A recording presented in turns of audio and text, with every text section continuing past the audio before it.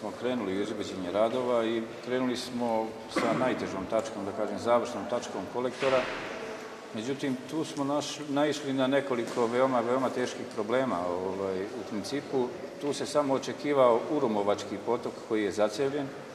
Kad smo otvorili ovaj, rov i kad smo vidjeli, pored tog Urumovačkog potoka i kolektora, naišli smo na još tri kolektora koja nigde nisu ucrtana, koja su faktički u nekoj polufunkciji, funkciji, ne zna se još, ovaj, istražili smo ovaj, i njih i premostili smo i našli smo tehničko rješenje, tako da u narednim danima će se intenzivirati radovi i očekujemo radove, nastavak radova punim intenzitetom u najskorije vreme.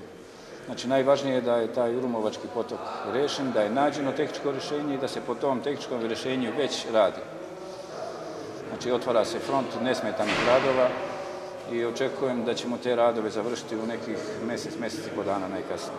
Definitivno, definitivno katastar podzemnih instalacija nije precizan. Dosta ima stvari koje nisu ucrtane i one koje su ucrtane, mnogo ih je koje nemaju građevinsku i nemaju upotrebnu dozvolu.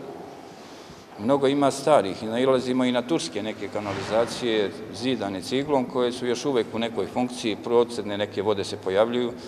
Tu smo imali problem ovde ovaj, u Nikole Pašića gde se pojavila neka kanalizacija koja je bukvalno ciglom zidana i bila je u funkciji. Što, što je iluzorno pretpostaviti da je neko nekad mogao to ucrtati. Definitivno ono sve što mi otkrijemo i što istražimo, mi ucrtavamo.